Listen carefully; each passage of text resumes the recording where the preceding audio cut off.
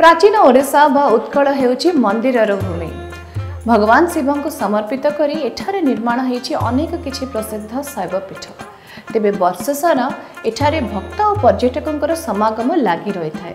ତେବେ ଚାଲନ୍ତୁ ନା ଶୀତ ଚାଲିଯିବା ପୂର୍ବରୁ ଆମେମାନେ ବୁଲି ଆସିବା ଏମିତି କିଛି ପ୍ରସିଦ୍ଧ ଶୈବପୀଠ।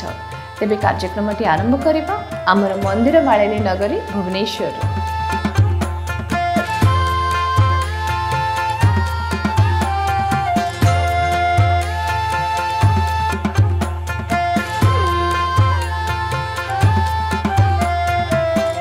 ଶିବ ହିଁ ଭକ୍ତି ଶିବ ହିଁ ଶକ୍ତି ମନ୍ଦିର ମାଳିନୀ ଭୁବନେଶ୍ୱରରେ ରହିଛି ସର୍ବପୁରାତନ ହରିହର ବା ଲିଙ୍ଗରାଜ ମନ୍ଦିର ଶହେ ଷାଠିଏ ଫୁଟ ଉଚ୍ଚତା ବିଶିଷ୍ଟ ଏହି ମନ୍ଦିରରେ ଦୁଇ ଅଂଶକୁ ଶିବ ଓ ବିଷ୍ଣୁଙ୍କ ପ୍ରତୀକ ରୂପେ କରାଯାଉଛି ପୂଜାର୍ଚ୍ଚନା ତେଣୁ ଲିଙ୍ଗରାଜ ହରିହର ରୂପେ ପୂଜା ପାଉଥିବାରୁ ଭଗବାନଙ୍କ ଠାରେ ଲାଗି ହୁଏ ଉଭୟ ତୁଳସୀ ଓ ବେଲପତ୍ର ଏହା ସହ ମନ୍ଦିର ପ୍ରାଙ୍ଗଣରେ ସତୁରିଟି ମନ୍ଦିର ବିଦ୍ୟମାନ